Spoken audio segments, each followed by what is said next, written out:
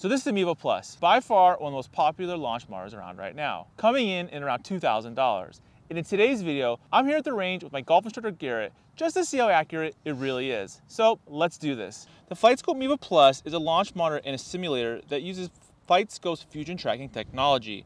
Now fusion tracking technology is an innovative combination of both 3D Doppler tracking radar and a synchronized high-speed image processing that provides the most accurate and consistent data for every shot. So what the Mevo Plus gives you straight out of the box is distance, club speed, ball speed, shot apex, smash factor, a calculation of swing speed and ball speed, launch angle, and it can be used as a simulator. Now, for an extra $1,000, making the Mevo Plus $299.9, you can get the Mevo Plus Pro. Now, this is an optional add-on that gives you even more data, including the full D-plane. So you get face to path, face to target, dynamic loft, club path, vertical and horizontal swing, low point, vertical descent angle, and a whole lot more. Now, this is all displayed on your iOS or Android device, and it can even automatically record video. For outdoor use, you're gonna need to have the Mevo Plus at least six to eight feet from behind the ball.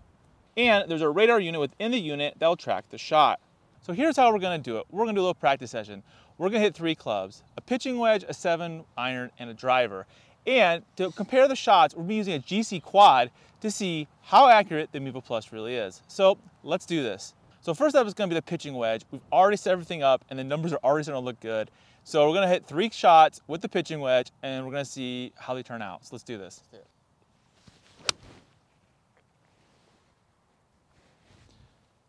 Nice shot. All right, so what do you got on carry? It's processing. 124. I got 123.9. Wow.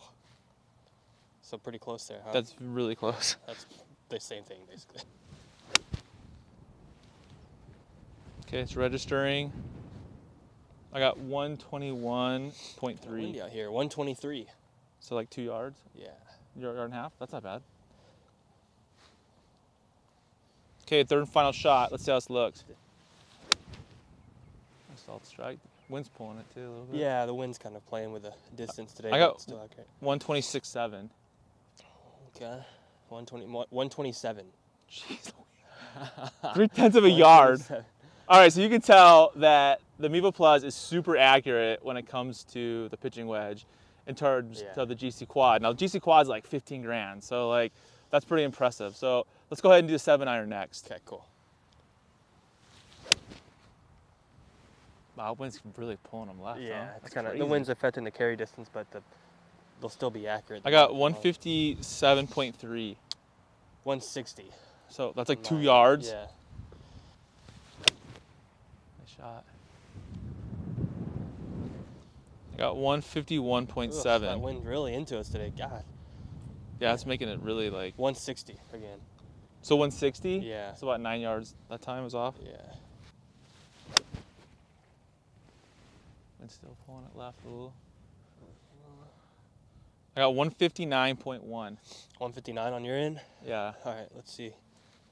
Come on, baby. 159. So around the numbers. That's crazy.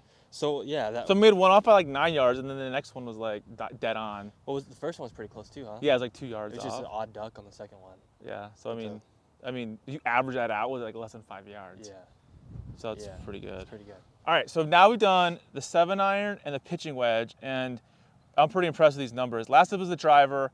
This is where these units kind of vary a little bit, so I'm really interested to see what happens here with the driver. So let's go ahead and do that. Oh, miss it. All right, got it. So I have 235 on the carry. Oh. this shows, I don't know. Let's see what it says. Oh god, yeah, 245 on my end. Really? Yeah. So 10 yards. I mean, it wasn't like a solid hit, but it's okay. I mean, It's a miss hit. So I mean, It's it's off by 10. In my mind, 10 yards is like the the it has to be no more than that. You know what I mean Yeah, for a yeah, driver. yeah. Like an iron, it should be within about five, and I think a driver should be within 10. Yeah. But I mean, on a miss hit, it's still pretty close. No, for sure. you drove as far as I drive. My God.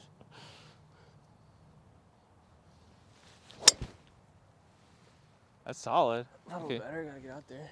243 carry. Really? Uh huh. I think it's the. I mean, the wind. It's the wind. The wind's gotta be pushing. The wind's probably like 30, 25, 30 into us today. Oh yeah. 248.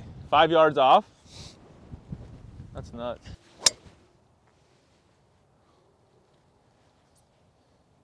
Okay, 240 carry. So that one picked up. Yeah, it did. That end.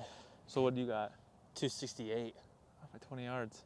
So big thanks to my instructor Garrett here at the Tour Striker Academy for letting us use this amazing golf facility. To be honest, I'm just blown away with the Mevo Plus. I mean, on average, I would say both the pitching wedge and the seven iron are off by what, like three yards? Three yards, if that. Yeah, pretty close. I mean, that's amazing, right? Like, I mean, it's even even less than three yards. Yeah.